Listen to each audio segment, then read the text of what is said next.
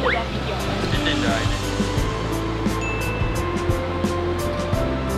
到了。到了，有一个火腿煎蛋，三手半手半手，转角那边会叫号码，好，谢谢。下班后第一餐就来这边吃是不对是？我真的超饿。台南妹子三句话点评老姜红茶的鲔鱼蛋饼，第三句讲到重点。然后有觉得怎样？我觉得跟记忆中的味道不太一样。我的记忆中它很好吃诶，它的皮是蛮好吃，煎起来是好吃的。是好吃。吃半熟蛋应该要注意的一件事情，有一半以上的人不知道。半熟蛋那要帮他这样吃，我是不敢吃，所以它是你不敢吃半熟蛋其实，不会有那个蛋的腥味吗？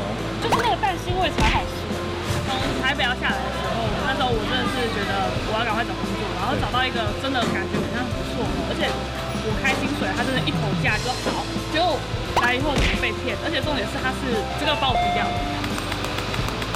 啊，哎、那很那那个很好，你跟你讲，东西那个那个不是很好，那个名气很大哎。东西给。一切拢是假。然后那边的流动率就大概三个月到六个月，你六个月就已经算老鸟了。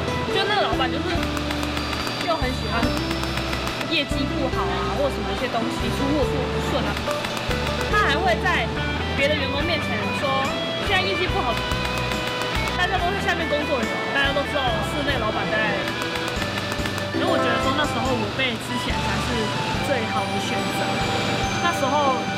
突然觉得很恐慌，我要整个沉没在这个高雄的海洋之中，工作顺心就看什么都顺心吧。你中心不顺心的时候，你就会真的心情就不烦。手很凉，代表没人爱，缺少爱的人就很缺钱，是吗？想不想拥有更多的爱和更多的钱？看着我的眼睛，想吗？你只需要说想或者点头就可以了。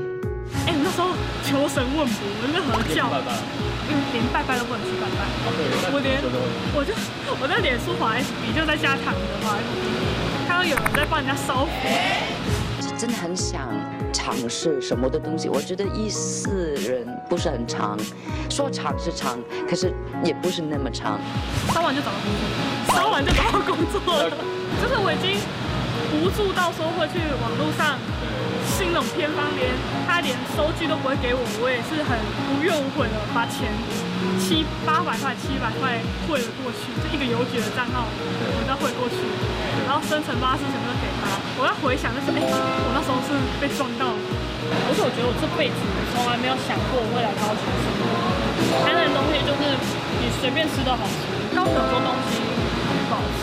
所以有时候然后干面，想说哇塞，为什么连水饺都煮不好？真的很烂。台北是比较贵，但是它的餐厅的多样性比较高，人我都觉得差不多，我觉得都有七八的。说的再好，不如做的好。我总担心身边怕失去谁，可却他妈忘了问，谁又怕失去我呢？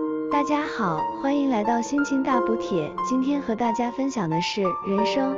有很多人就问我说，你人生目标是什么？但我人生好像真的没有什么目标，那你休假都都在干嘛？躺在家里，都在家里能不出门就不出门，就是躺着耍废、睡觉、看漫画，看漫画、打游戏、追剧、水波煮、水波煮脸，得过且过。这可以当 ending 吗？很好啊，这很好啊。